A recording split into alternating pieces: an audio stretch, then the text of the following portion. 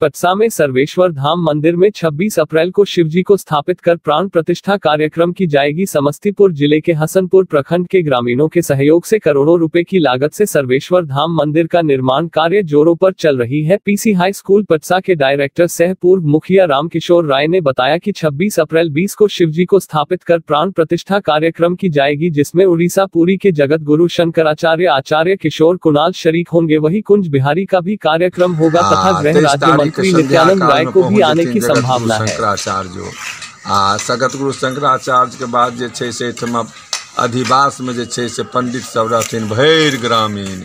ओकर बाद ग्यारह गो पंडित बनारस से एथिन।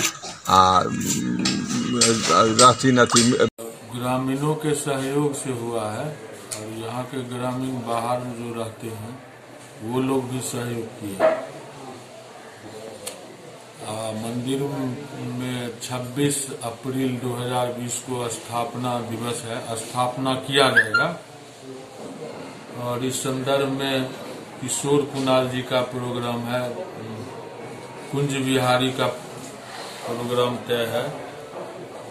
पुरी के शंकराचार्य का प्रोग्राम तय है। गृह राज्य मंत्री के यहाँ हम लोग लगे हुए हैं, वो भी प्रोग्राम होने की संभावना है।